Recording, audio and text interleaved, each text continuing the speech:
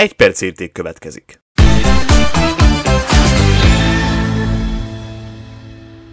Szilágyi domokos, új kenyér.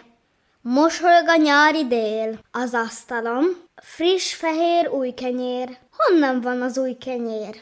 Három traktor földet szántott, a vetőgép búzát vetett. Felhő hullatta az esőt, nap hullatta a meleget.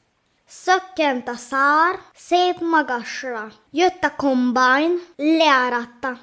Leáratta, kicsépelte, a gőzmalom megőrölte, teherkocsi hazahozta, anya pedig megsütötte.